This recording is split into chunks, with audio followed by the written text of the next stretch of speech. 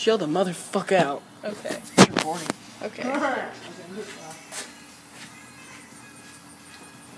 oh, that's pretty tall. Yes. Oh god, I don't think you're gonna be able to do it. Yeah, don't do that. Uh, oh, it burns because it's hot metal.